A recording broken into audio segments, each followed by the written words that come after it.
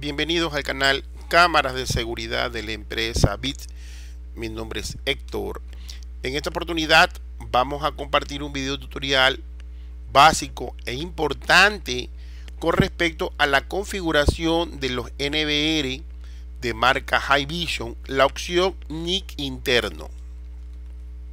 Nosotros estamos en Guayaquil, Ecuador.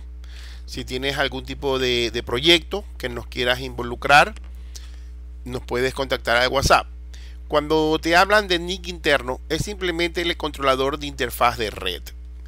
¿Cuál es el escenario? El escenario es que yo tengo un NVR de 32 canales, de los cuales 16 son PoE, y cuando yo lo enciendo, le pongo la configuración, yo me doy cuenta que todos los, eh, los conectores PoE ya vienen con una dirección IP.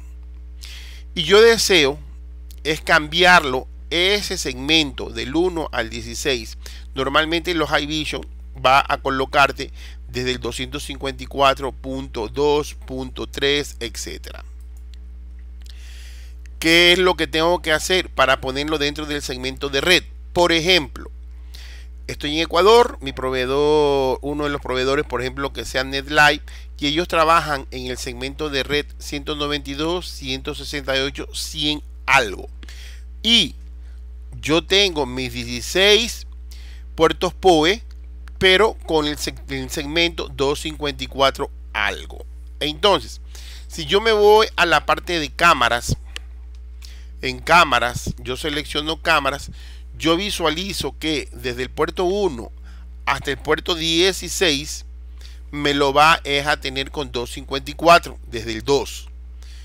Entonces, esto automáticamente me lo está dando como que fuera un router, llamémoslo así, que es un NIC, una tarjeta de red que está dando algunas direcciones IP que está dando cada uno de los puertos de 254. Pero yo no quiero estar en ese segmento.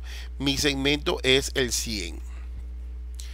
Entonces, ¿qué, qué debo de hacer para poderlo? Es modificar.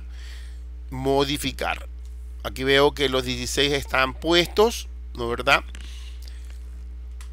Yo me voy a configuración del sistema, haciendo clic con el segundo botón, menú principal, configuración del sistema.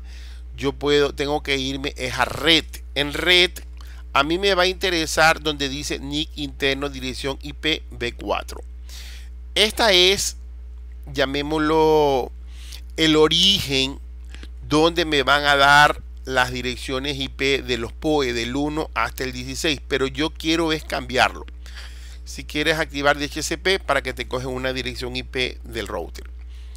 Ya sabemos que yo tengo que modificar y cada vez que modifique para grabarlo tengo que poner siguiente.